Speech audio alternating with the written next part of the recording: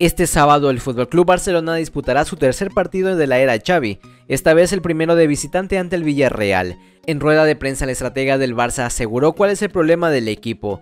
Xavi lo tiene claro, que la falta de atrevimiento de sus jugadores de cara a la portería es lo que les está pasando factura a la hora de marcar goles. Eh, lo dices que puede ser por la edad de los jugadores, pero ¿crees que también puede ser la falta de confianza que tengan ya no solo los jugadores jóvenes, sino también eh, Memphis o los delanteros? Si es así, yo les doy toda la confianza. Ya les he dicho que confío en todos ellos. Eh, al final se tienen que atrever. Eh, tú no metes gol si no tiras, si no lo intentas, si no llegas al área, si no pruebas el último pase. Y muchas veces es la sensación que a mí me pasaba también, ¿no? De la responsabilidad de perder el balón, ¿no? En esa zona. Pero no pasa nada, ya la recuperaremos, ya presionaremos alto, ya volveremos a presionar tras pérdida y yo creo que es más atrevimiento que no, que no falta de, confianza. Xavi ha traído confianza a sus jugadores, a pesar de esto todavía no se ha visto reflejado en el gol, pero el estratega sigue trabajando en ello. Esta mañana en la ciudad deportiva el equipo se entrenó a carcajadas con un nuevo método del staff de Xavi, un ejercicio que además de coordinar los movimientos de los jugadores causó buen rollo en toda la plantilla. Nueva sesión de entrenamiento en Can Barça y otra vez con muchas risas. Todo gracias a él, Iván Torres, que preparó un divertido juego de activación. Pero, ¿qué hace haciendo todos esos gestos de otros deportes? Concretamente, cada especialidad tiene un número. 1. Boxeo. 2. Fútbol. 3. Básquet. 4. Béisbol. Pero hay más. Instrucciones. El preparador dice un número y los jugadores tendrán que hacer el gesto típico de ese deporte. Y luego terminará con un continente y tendrán que moverse en la dirección que esté. Pequeño calentamiento. Y que arranque ya que hace frío. Y empieza. Algunos como Eric García llevan bien la coordinación.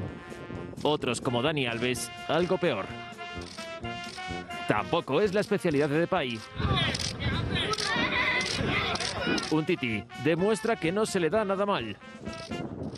Piqué, en cambio, se prepara para el vacile. Y el Jordi no defrauda.